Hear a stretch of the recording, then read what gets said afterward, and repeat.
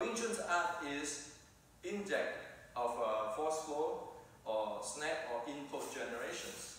Okay. So as we know, usually it is a snap. Okay. So instead of doing this, Wing Chun is going in close. So the snap is here slightly shift. Okay? Now, why do I have this yoga ball about 2 feet in diameter? Because there's no point to hurt other people sending this